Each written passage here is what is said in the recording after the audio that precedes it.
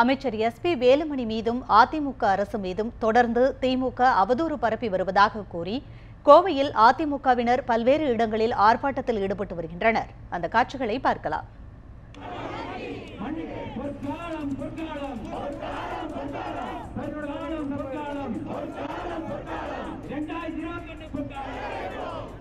இந்த செய்தி தொடர்பான கூடுதல் விவரங்களை நமது கோவை செய்தியாளர் பிரசாந்திடம் கேட்கலாம்.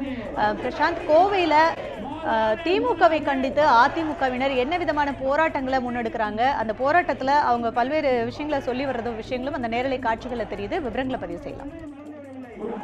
சிவசங்கரி அதாவது கடந்த வாரம் திமுக தலைவர் ஸ்டாலின் மீது அவதூறு பரப்பும் விதமாக நகரின் பல்வேறு பகுதிகளில் ஒட்டப்பட்ட போஸ்டர்களை கிழித்த இளைஞர் திமுக இளைஞர் மீது வழக்கு பதிவு கண்டித்து நேற்று முன்தினம் திமுகவுடைய இளைஞரணி செயலாளர் உதயநிதி ஸ்டாலின் கோவை தெற்கு வட்டாட்சியர் முன்பு ஆர்ப்பாட்டத்தில் ஈடுபட்டார்.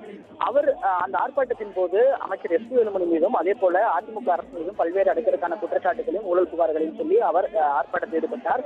இதை கண்டிக்கும் வகையில் இன்று கோவை மாநகரம் முழுவதும் இருக்கக்கூடிய பல்வேறு பகுதிகளில் வீடுகளில் கருப்பு கொடி அதிமுகவினர் வீடுகளில் கருப்பு கொடி ஏந்தியும் அதே போல முக்கிய நகர முக்கிய பகுதிகளில் வந்து ஆர்ப்பாட்டத்தில் ஈடுபட்டு வராங்க.